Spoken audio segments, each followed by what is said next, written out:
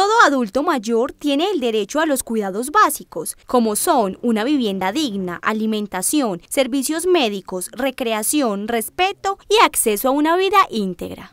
Me siento feliz, mejor, que, mejor dicho, como estoy aquí.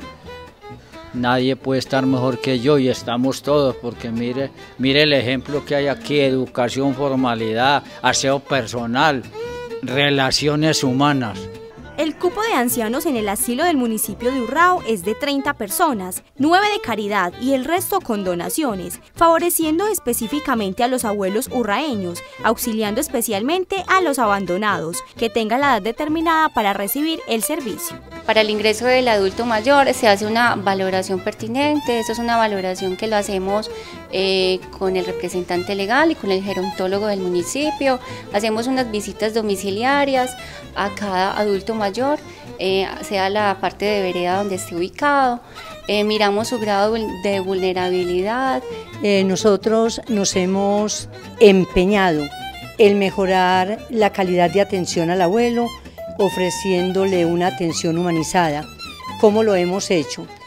contamos con un grupo de personas que se desempeñan cada una en su oficio la Junta del Asilo que integra a siete personas plenamente dedicadas a prestar su colaboración gratuita en beneficio de los abuelos.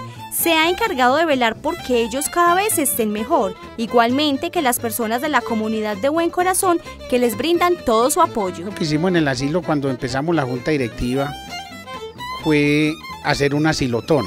Fue una idea que nos dio, gracias a Dios fue exitosa nos fue muy bien, empezamos los primeros recursos, abrimos la cuenta y de ahí ya la gente se fue involucrando, se fue, se fue acomodándonos, ayudándonos con cositas, eh, con mercados, con ayudas. Y también la parte pues, de, la alimentación que es por parte de la administración municipal. Queda en nuestras manos la protección, el cuidado, bienestar y sobre todo la felicidad de los abuelos que están a nuestro alrededor.